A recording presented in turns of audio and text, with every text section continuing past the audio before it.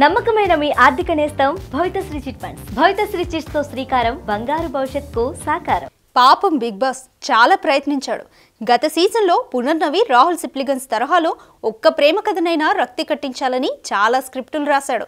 తను ఫస్ట్ నుంచి మోనాల్ అభిజిత్ అఖిల్ అవినాష్ హర్యానా కథలే పదే పదే నొక్కి చెబుతూ వస్తున్నాడు వీకెండ్ షోలలో కూడా.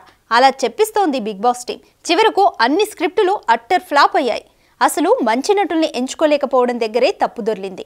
అందుకే ట్రాకులన్నీ ట్రాకులు తప్పిపోయినాయి. సగం రోజులు గడిచిపోయాయి. మెల్లిగా ఆటలో సీరియస్నెస్ రావాలి.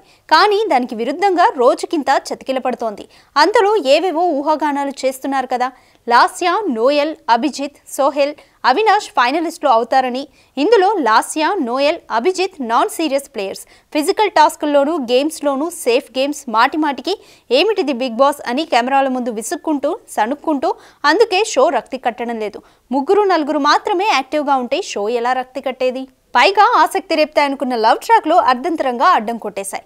ఎలాగంటే నేను సింగిల్ ఆమె సింగిల్ అనుకుని టీవీ నైన్ దేవి మీద కన్నేశాడు సూర్యకిరణ్. ఫస్ట్ ఆ వికెటే ఎగిరిపోయింది. తర్వాత కొన్నాళ్ళకు దేవి వికెట్ కూడా పడిపోయింది.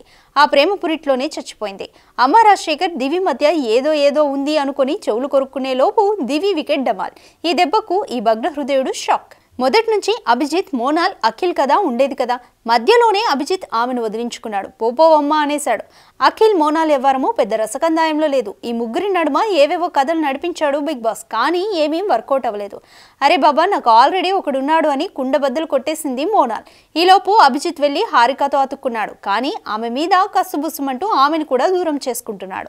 ఆఫ్టర్ ఆల్ ఏదో చిల్లర పెన్సిల్ ఇష్యూతో ఆమెను కట్ చేసేశాడు. అవినాష్ హర్యానాకు బిగ్ బాస్ విశ్వ ప్రయత్నం చేశాడు ఏదో లవ్ ముడివేయడానికి.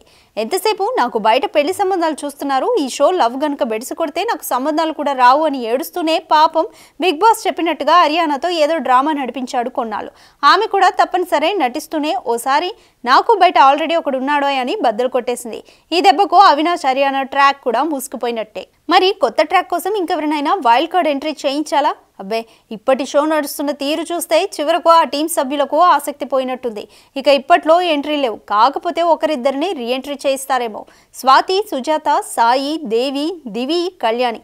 ఎవరెవరికి రీఎంట్రీ ఉంటుందో సస్పెన్స్ హాయ్ యోస్ మన స్పాట్ న్యూస్ ఇప్పుడు షేర్ చాట్ డైలీ హ్యాండ్ యాప్స్లో కూడా ఉంది. అలా ఉండే ఛానల్ను సబ్స్క్రైబ్ చేయడం మర్చిపోవద్దు.